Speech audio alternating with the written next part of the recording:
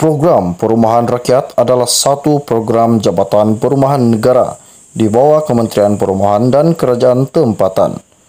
Penempatan setinggan ini dibina untuk memenuhi keperluan tempat kediaman bagi golongan berpendapatan rendah. Kadar sewa bulanan adalah RM124 sebulan. Program PPR ini diperkenalkan pada Februari 2022 akan disewakan kepada golongan sasaran golongan yang berpendapatan rendah dan setinggan. Syarat dan kelayakan permohonan dan pasangan pemohon mestilah berstatus warga Malaysia. Pemohon mestilah berumur tidak kurang daripada 18 tahun. Pemohon mestilah berpendapatan isi rumah tidak melebihi daripada RM3.000 sebulan. Pemohon dan pasangan mestilah masih belum pernah memiliki rumah.